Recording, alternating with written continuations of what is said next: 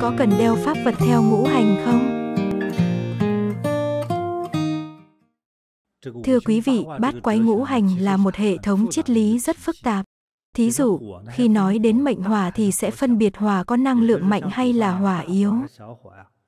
Mệnh của tôi cũng là mệnh hỏa. Nhưng những lúc năng lượng của tôi yếu, tôi cũng cần phải bổ sung thêm năng lượng. Những khi cảm thấy mệt mỏi, tôi sẽ đeo chuỗi hạt màu đỏ hoặc chuỗi hạt màu vàng. Còn vào mùa đông, tôi sẽ đeo chuỗi hạt làm từ gỗ trầm hương hay là gỗ đàn hương.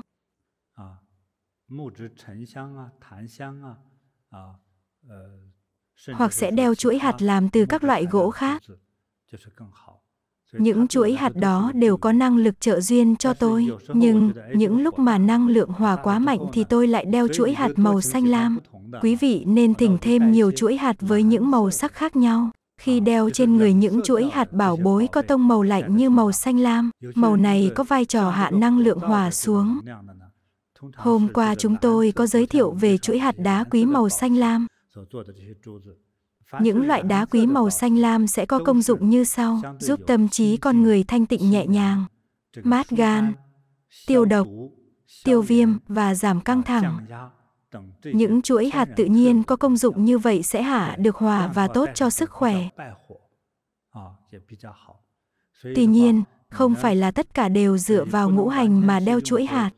Cũng không có nghĩa là cứ mệnh mộc thì phải đeo nhiều chuỗi hạt bằng gỗ